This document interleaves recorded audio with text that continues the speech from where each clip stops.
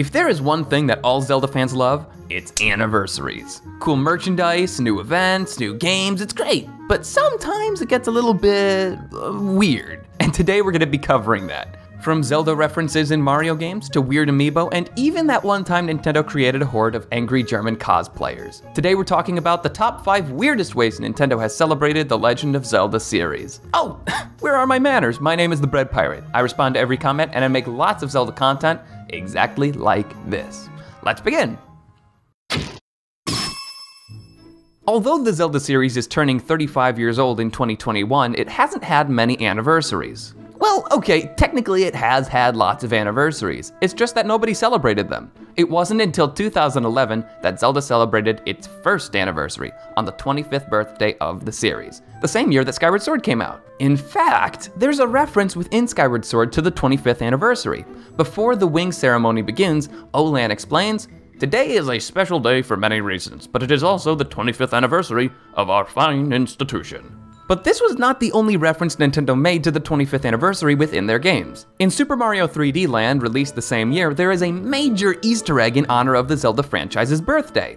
In World 5, Level 2, which is the number 25 backwards, there is an entire level with a top-down camera angle that has you go through a maze of enemies and booby traps, a clear reference to the top-down formula that was originally used in Zelda 1 and has become a staple of the franchise ever since.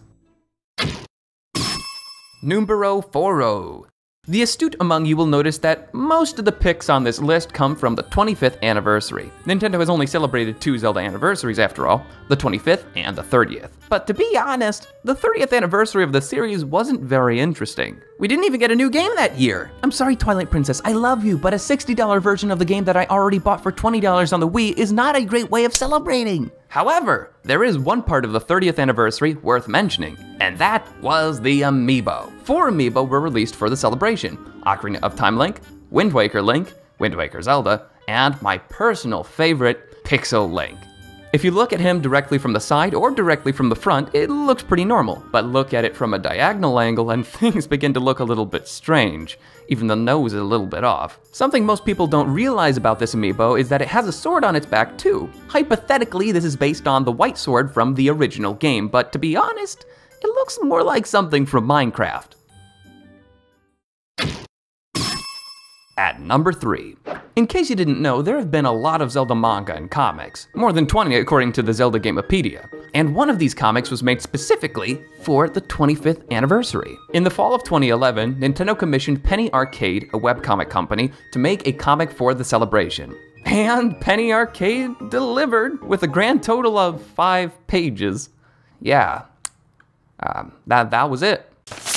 Furthermore, the story is not told from the perspective of Link, or Zelda, or Impa, or even Groose. It's actually told from the perspective of the headmaster Gaepora, with the story revolving around him lamenting about sending Link to save his daughter. But like I said, it's only five pages long, so it feels more like a poem than it does a full-fledged story. Despite this, I think it's pretty good. You can read it right now for free if you'd like. There's a link in the description below.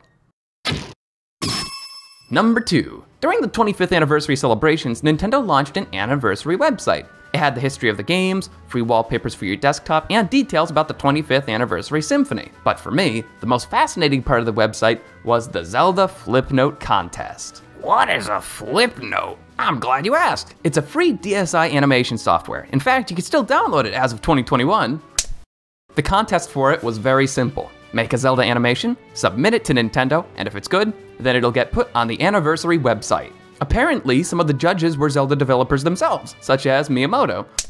You could compete in one of three regions depending on where you lived North America, Oceania and Europe, or Japan. There were multiple winners per each region, and the general consensus is that the Japanese winners were the better animators overall. However, I would argue that the North American, European, and Oceanian contestants still did a great job. If you'd like, I am also adding this into the description below so you could check it out later. Okay, this might have not made it onto the list, but I think we can all agree it's quite weird. Once again, for the 25th anniversary, Nintendo put together a series of montages on YouTube celebrating all the key elements of the Zelda series. For instance, music, secrets, romance, with a question mark, and wisdom. But my personal favorite is 25 years of races. Let's take a look, shall we? Gorons, Rito, Ugh, Subrosians. Animals? Did, did, did, did these count? Townspeople? Y you mean Hylians? Pirates? What in the world? Actually, I'm fine with this. It's clear that these videos were thrown together without the Zelda team's supervision. They're missing information and the editing is lazy. But even if it's embarrassing on Nintendo's part, it's still fun to look back on. And so we come to number one. During a Gamescom convention in Cologne, Germany, Nintendo organized a cosplay flash mob where the first 111 people to show up in Zelda attire would receive a free goodie bag, a limited edition t-shirt, and a can of Deku Nuts. No, I am not making that up. That's a real thing. It was a can of acacia seeds, not for eating, but for planting. Originally, these Deku cans were promotional material for people who pre-ordered Ocarina of Time 3D in Greece, but for some unknown reason, they made their way into Germany specifically for this celebration. How does Nintendo get away with calling this merchandise? Anyways, we know for a fact there were more than 111 people in that flash mob, and everybody after 111 got nothing. Not a single Deku Nut. Understandably, this spawned a horde of angry German cosplayers. According to one cosplayer at the event, we were taken by surprise at first.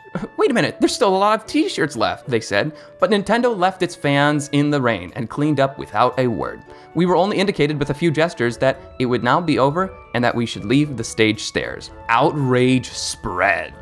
Thankfully, the Zelda community is one of the friendliest communities I know of, so the outrage didn't lead to anything. But what are we supposed to expect? Everybody wants Deku Nuts! We are not done though. At the same event in Germany, Nintendo also hosted a Zelda trivia quiz. It went like this. To qualify, you had to catch a Rupee plushie that was thrown into the crowd. After that, you got to participate in the quiz itself. If you won, you received an extremely rare Golden Twilight Princess statue. If you got second place, then you got a Zelda chest containing various goodies. And in third place, you got a similar chest, but slightly smaller. Miraculously, we know who won this contest. The winner was a guy named Martigen, and we know this because after he won the quiz, him and his wife, Tawny, reached out to the North Castle forums and gave them pictures of all the merchandise they won. And even though me or you will never have another chance to get all that cool merchandise, we can at least have the next best thing. Subscribing to the channel! That's probably way better than a can of Deku Nuts. Uh, right? Well, that concludes everything for today's episode. Was there anything that surprised you? Let us know. And until I see you next time, have fun storming the castle.